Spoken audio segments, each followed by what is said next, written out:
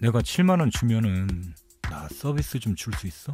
아이 그런 거 안 돼요 여기 올 때마다 여기서 많이 사 먹으면 되잖아 아니 그 약속 지킬 수 있어요? 우리 한철 장사예요 이 형님 아무것도 모르시네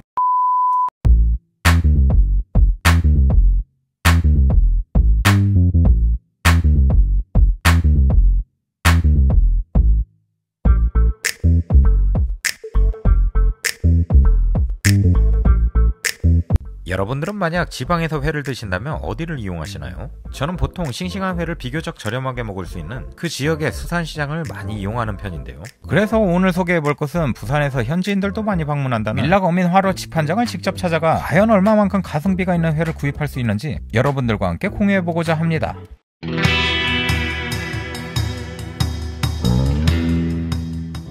안녕하십니까. 여러분의 지갑을 지켜드리는 오늘만 호갱 전문 리뷰어 후슐랭 가이드입니다. 앞서 말씀드렸다시피 오늘은 부산에서 가장 가성비 있게 회를 구입할 수 있다는 밀락 어민 화로 직판장을 방문해봤는데요. 찾아가시는 길은 화로 회센터를 쭉 끼고 돌면 목욕탕 굴뚝같이 생긴 곳에 어민 화로 직판장이라고 딱 쓰여져 있어 찾기는 쉬우실 듯 합니다. 뭐 여기 근처에 가성비 좋은 광화회 센터도 있긴 하지만 광화회 센터는 예전에 들른 영상이 있어 상단의 카드를 통해 참고하시면 감사드리겠고요. 솔직히 화로 직판장 방문은 처음인데 이날 같이 일하는 동료들과 회식 겸 남자 5명이 간 거라 일반 횟집을 가자니 너무 지갑이 깨질 것 같아 이곳을 방문하게 된 계기가 되겠네요. 지금 보시는 거는 직판장 내에 있는 가게들 이름인데 솔직히 너무 빼곡히 알아보기 힘들게 써있어 처음은 저희로서는 도움이 전혀 안 되는 안내도였고요. 저희가 이날 방문한 시간이 저녁 8시 45분 정도였는데 인터넷에 보니까 마감 시간 바로 직전에 가면 조금 더 저렴한 가격에 구입할 수 있다는 정보가 있어 시세를 알아보려고 했는데 역시 칼을 다루는 곳이라 그런지 다들 칼퇴를 하셨더라고요.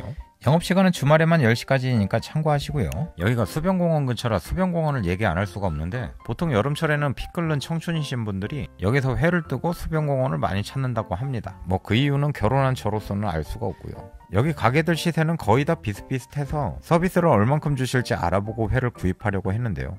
얼마씩 해요 요즘? 이런 거 3만 원. 요거 밀치? 예. 밀치 3만원 예. 그리고 아니면 농어 이거 한 마리 살려요.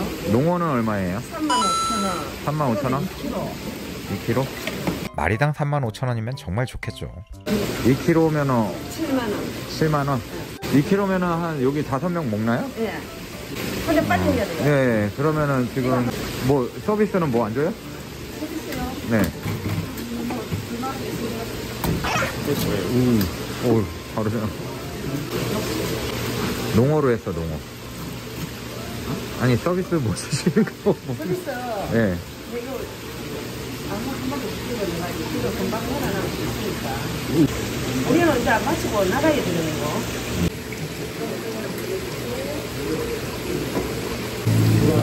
아, 기계로 하시는구나, 저렇게.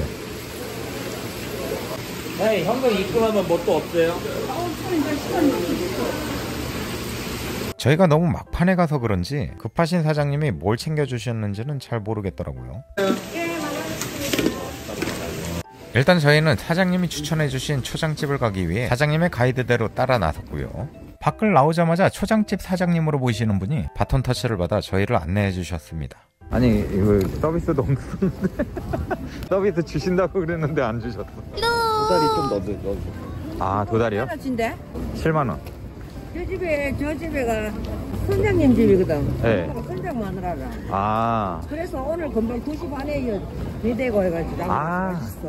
음, 자연산인가? 농원에 비싼 건데 이거. 어. 여튼 비싼 농어를 들고 사장님이 운영하시는 초장집을 오게 됐고요. 상차림비는 1인 6천원으로 부산은 역시 제2의 서울이 맞는 듯 했습니다. 우리가 돈이 없지 가오가 없어?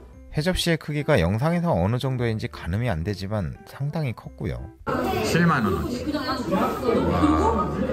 농어하고 이제 대가리 조금. 이게 서비스. 양념장은 일반 간장과 회간장, 초장이 준비되어져 있었고 밑반찬은 커피나 쌈장, 마늘과 고추, 당근, 삼총사, 단무지 피클, 베트남 고추절임, 김치와 깻잎 등이 1인 6천원의 상차림인데 솔직히 소비자 입장에서 1인 6천원의 이 사이드 찬 구성은 글쎄요 회센터 옆에 초장집을 기피하게 되는 가장 큰 원인이 아닐까라는 생각이 들었습니다.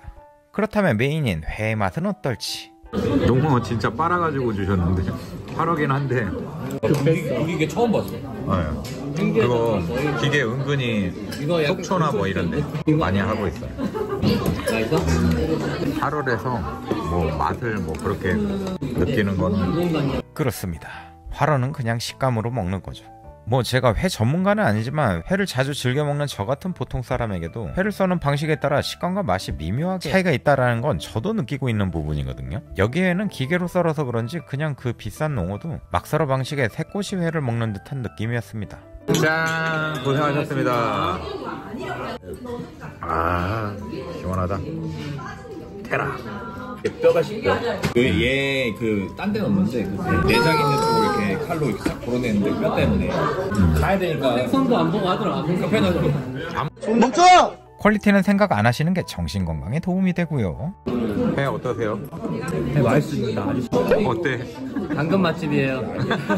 오늘 오늘 오늘 저는 회를 잘 안 먹는데 식감이 괜찮아요. 여기가 이제 회 전문이니까 회전분 어떠세요?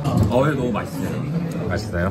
뭐 뼈는 좀 씹히긴 했지만 아직까진 이빨이 튼튼 여튼 쫄깃한 농어의 식감은 업무에 시달린 스트레스를 날려버릴 정도였고요. 남자 다섯 명이 회로는 부족해서 추가로 시킨 해산물 모듬인데요. 원산지는 모르겠지만 싱싱해 보이는 산낙지와 멍게와 해상 개불 등이 아주 먹음직스럽게 나왔습니다. 그렇다면 과연 맛은 어떤지? 맛이 어떻습니까? 음 바다를 먹는 맛입니다. 멍게에서 나오는 향이 조금 강해가지고 이거를 간장에다가 찍어 먹자면 되게 달아 거짓말 하지 마. 진짜야 끝맛이 되게 달아 확실히 멍게는 바다의 비릿한 향이 강해 저는 신선함을 느껴 좋았는데 일행들 중 MZ분들은 잘 못 먹어 제가 맛있게 먹었습니다 산낙지는 참기름장에 둘러져 나와 고소한 맛과 쫄깃함이 술을 부르기에 좋았고 너무 신선해서 그런지 초장 그릇까지도 들었다 놨다 하더라고요 뭐 개불은 아시다시피 생긴 것 때문에 기피하시는 분들도 계시는데 예전에 한번 외국인 친구한테 개불을 사줘 본 적이 있었거든요 처음 본 비주얼에 막 기피를 하더니 한번 먹어보고선 이 맛에 반해 다시 한국을 오고 싶어 하더라고요 어, 이 새끼한테 입만 벌리면 무슨 맛이야, 걔? 그러니까 얘네들은 달아 배불이 달다고? 단맛은 아니고 만약 이게 단맛이 나면 당이야. 당 걸린 거야. 알아? 초장이 난데? 어. 일단은 끝까지 먹고 나서 이게 혀에서 느껴지는 단맛이 있어. 어, 그지? 알지? 약간의 단맛이 나네. 어, 맛있어. 알아. 해삼은 크기가 크지는 않았지만 꼬독한 식감과 짭짤한 감칠맛이 소주와 같이 하면 딱 좋은 안주감이지만 저는 폭탄주로 마셔도 괜찮게 느껴졌습니다. 뭐 이쯤 되면 취했다는 거죠. 짜잔, 내가 돌아왔다. 역시 횟집의 마무리는 매운탕이죠. 무와 생선 머가리가 많이 들어간 매운탕은 약간 진한 스타일이었는데 탄수화물까지 같이 하면 딱 알맞을 것 같았지만 다이어트 중이라 허벅지 꼬집으며 참았습니다. 왜 안 드세요? 탄수화물이라.